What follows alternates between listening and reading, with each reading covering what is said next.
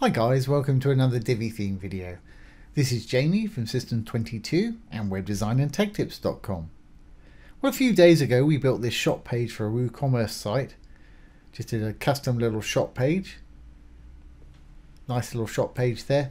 Somebody had the question, can you add some add to cart buttons to it? You certainly can. The easiest way to do this is to add a little bit of code.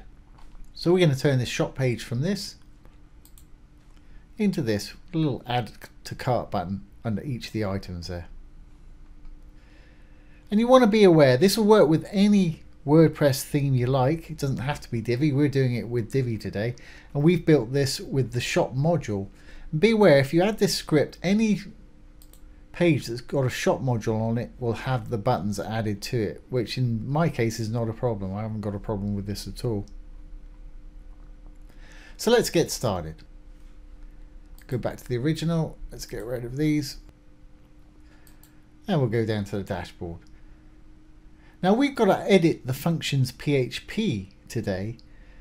And so I would suggest you create a child theme for that. You can skip it if you want and put it in your regular Divi functions PHP, which will be in the theme file editor here. And if we look over to the right, there's our functions PHP up here at the top. But as this is a core file, like I say, I'd suggest you make a Divi child theme. So let's do that. I can do it really quickly. I'm going to use a free plugin. It's called Child Theme Configurator. I'll put this little link below the video. I'm going to go ahead and download it. I'm going to go to my plugins. I'm going to hit the add new button at the top here. And I'm going to upload a plugin. You can choose file and browse to your download location. I'm just simply drag mine up here as I've got Google Chrome and it's on the browser itself. I'm going to hit install now.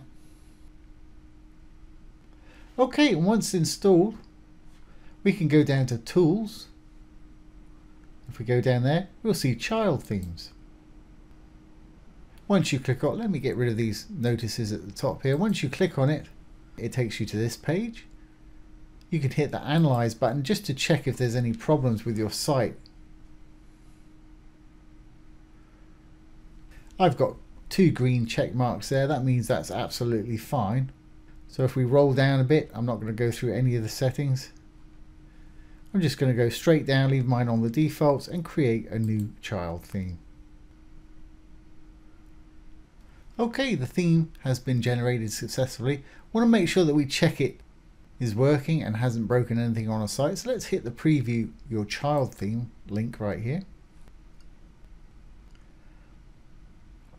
That's going to take us to our page here. You can look through your site, make sure everything looks fine. Everything looks absolutely perfect to me here, the way it should.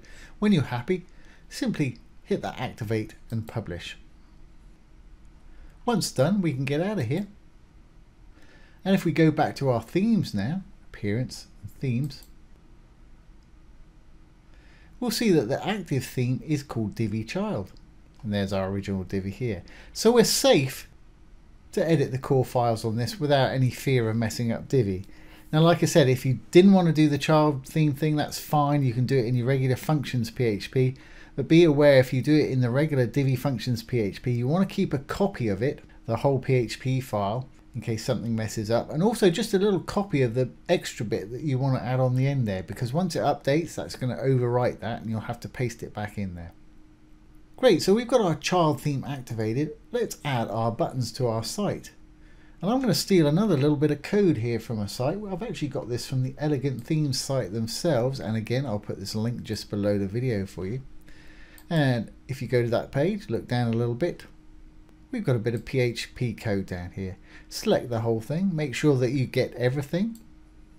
I'm going to copy it, Control C or right click and copy, however you like to do it. And we need to paste this in the functions PHP file of the child theme. And don't let that freak you out, it's really easy. We'll go back to our dashboard. Going to go down to theme file editor again. And here we are in the child theme. And you may have noticed there's very few things over to the right hand side compared to our major Divi theme. Let's go into the functions PHP, there it is. Just simply left click on it. And after the end enqueue parent action, I'm going to put my cursor below it and paste in a bit of PHP that we copied. There it is right there. I'm going to go down to the bottom and update the file. And it's telling me the file has been edited successfully. Okay, well let's go back to our shop page now and we'll refresh. There's it before. Let's refresh it now. And roll on down. And there we are. It's added some little buttons under our little products. And like I say, that's going to be on every shop module that you've used if you if you've used the Divi theme, which is a great thing. Now those look a little generic. They're they're great. They work and everything like that. Maybe you wanted to style them a little more custom, like I had before. Let's select one of these and have a look at it in the Chrome Inspector. Like I said earlier, I'm using Google Chrome with the great inspector tools.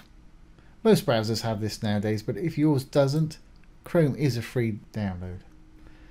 And there it is right there. That's our button. If I roll over it, you can see they're selecting at the top. Let's roll that up so you can see a bit better. As I roll over that, you can see it's selecting the buttons. So if you wanted to perhaps customize them, I pushed mine to the middle and I gave them a background color and changed the color of the text. So let's do that again. I'm going to say margin, left. I'm going to say 50%. And now I've got to bring them back about half of their real width. So I've got to use a bit of transform translate for that. And all this CSS I'll put down below so you can copy and paste it if you don't have to follow along as I'm doing it right now if you don't want to. So I'm going to say transform. And I want it to translate or move negative 50%. So it's going to move back by half of its own width. So I'm going to say negative 50%. And that's in the middle there. Fantastic. Well, let's give it a background color. I'm going to make it purple for want of anything else. So background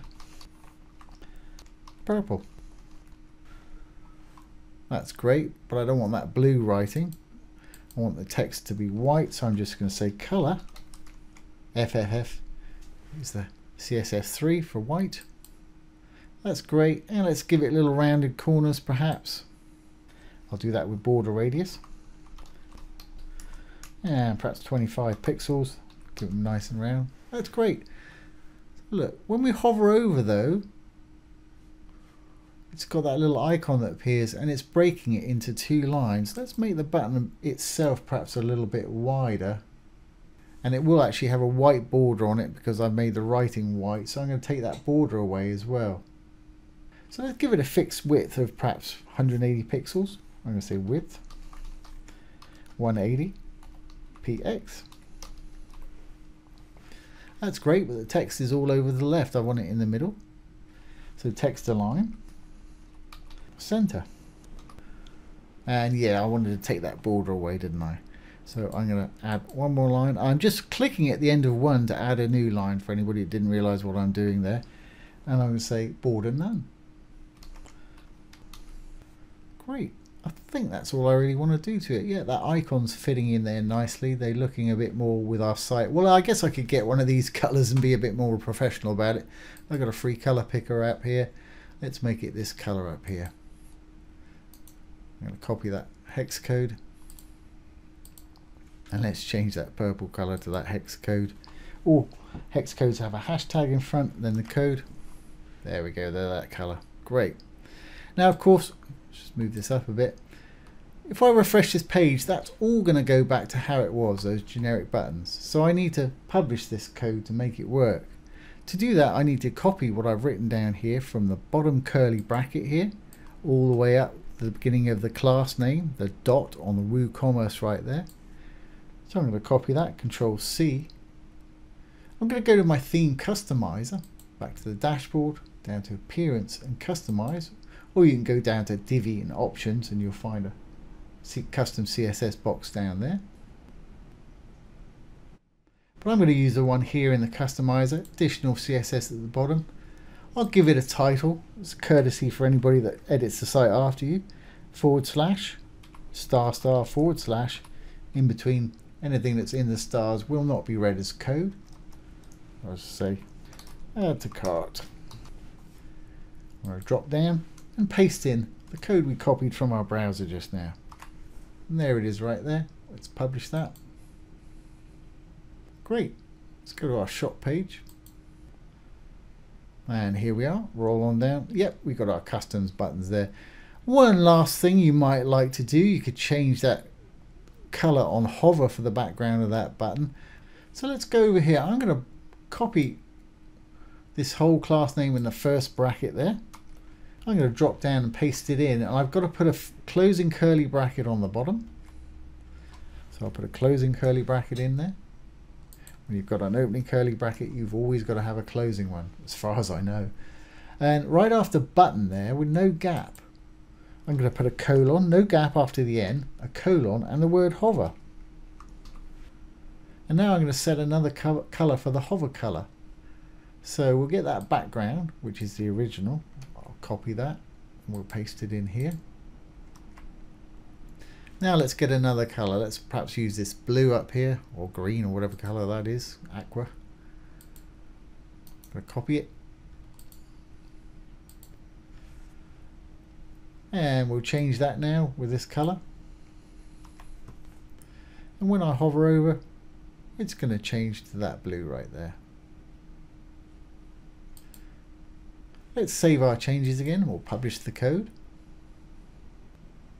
This time we'll check it out on the real shop page. Let's go to the shop page here, get rid of the inspector, refresh the page. There we go, and if we roll on down, there's our little buttons. Fantastic. Just what we wanted. And as I mentioned before, it's going to add it to anywhere that you've used the shop module. We're using Divi today. If we go to the home page, you're going to find it here as well. Anywhere I've used a shop module, obviously there. Those are custom. There, there, and here, which is just exactly what we want. So let's go back to the shop. I suppose we better actually add one to the cart. Let's select one, this will do, and I'll click it. There we are, it's added to the cart, and you've got a little button there with the option to view your cart. So there you go guys, I hope you've enjoyed this today and found it useful. Don't forget if you have any questions, pop them below the video. I'll do my best to answer them for you or make a demo video. Once again, this has been Jamie from System22 and WebDesignAndTechTips.com. Thanks for watching. Have a great day.